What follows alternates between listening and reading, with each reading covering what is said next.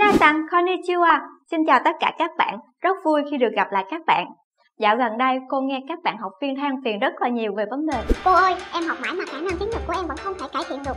Cô ơi, em bị ngặt giữa một rừng kanji Cô ơi, em không thể nào viết một cái email chuyên nghiệp cho các đối tác cũng như là gửi cho sếp Trăn trở, băn khoăn với những vấn đề đó, cô và Unica đã cho ra đời một khóa học nghe, nói, đọc, viết tiếng Nhật thật dễ trong khóa học này sẽ giúp cho chúng ta có một vốn từ vựng cũng như là canxi thật phong phú. Giúp chúng ta đọc hiểu rành mạch một văn bản cũng như là một email. Nghe và nói đối với người bản xứ một cách rành mạch nhất và tự tin đối đáp lại. Cũng như một phong thái làm việc chuyên nghiệp trong môi trường công sở của Nhật Bản về gọi điện thoại, trao đổi danh thiếp cũng như là viết email. Tất cả sẽ có trong khóa học nghe nói đọc viết tiếng Nhật thật dễ. Vậy thì còn chần chừ gì nữa, hãy đăng ký nhanh khóa học luyện nghe nói đọc viết tiếng Nhật thật dễ tại unica.vn